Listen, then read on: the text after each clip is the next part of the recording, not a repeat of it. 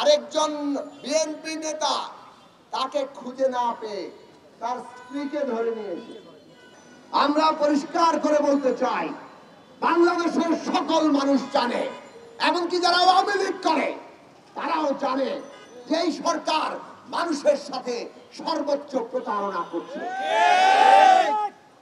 দুর্ভাগ্য আওয়ামী লীগের অনেক সমর্থকরা এটা জেনেও তাদের এই দলের নেতাদের আজকে জনগণের সাথে প্রতারণা করা এই যে তৎপরতা, এই যে আয়োজন, সেটাকে সাহায্য করছে। কিন্তু বাংলাদেশের মানুষ, অধিকাংশ মানুষ আজকে তাদের অধিকার হারা হয়ে তাদের বর্তমান ভবিষ্যতের যে বিপর্যয় সামনে আসছে, সে বিষয়ে আশঙ্কিত হয়ে তারা ভয়ঙ্কর দুরবস্থার মধ্যে আছে। এই অবস্থা কীভাবে কাটবে? আমরা পরিষ্কার করে বলছি, বাংলাদেশের মানুষকে নামতে হবে, রাজপথে নামতে হবে। ওই যে গুন্ডা পান্ডা কয়েকটা আছে, দাওয়া দিতে হবে।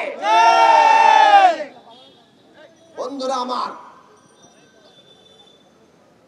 এই সরকার কতটা ভয়াবহ জায়গায় আমাদের নাগরিকদের জীবনকে নিয়ে যাচ্ছে, তার দুটি নমুনা একটি নমুনা হচ্ছে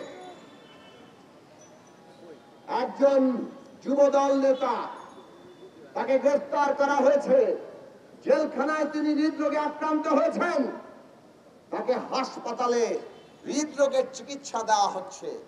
কিন্তু পায়ে বেরি পরানো, হাতে হ্যান্ডকাপ পরানো হৃদরোগের আশা রোগীকে আপনারা হাতে হ্যান্ডকাপ পরিয়ে তারপরে তাকে খেতে দেওয়া হচ্ছে? এই হচ্ছে আমাদের সরকারের চেহারা। ওনারা জেল কোডের কথা বলবেন। জেল কোড তো সবার জন্য একই রকম ভাবে প্রযোজ্য হয় না। আর এই জেল কোড, ঔপনিবেশিক আমলের জেল কোড যদি স্বাধীন বাংলাদেশে রাখেন, আপনাদের এই সমস্ত আইন কানুনকে বাংলাদেশের সংবিধান, বাংলাদেশের শাসন ব্যবস্থা, বাংলাদেশের মাটি থেকে উৎখাত করার জন্য আমরা লড়াই করছি। আরেকজন বিএনপি নেতা তাকে খুঁজে না পেয়ে তার স্ত্রীকে ধরে নিয়েছে চিন্তা করেন, এর মতো নিকৃষ্ট কাজ আর কিছুই হতে পারে না।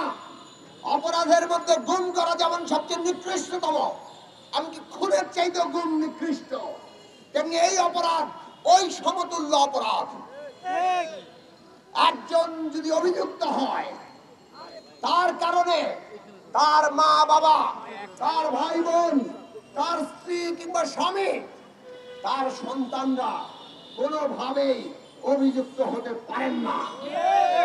সুনির্দিষ্ট অভিযোগ ছাড়া আপনারা যেভাবে অভিযুক্তের আত্মীয় স্বজন তাদের পরিবারের সদস্যদেরকে তুলে আনছেন বাংলাদেশটাকে কোথায় নিয়ে গেছেন, ভবিষ্যতেও আপনাদেরকে এটা মনে রাখতে হবে।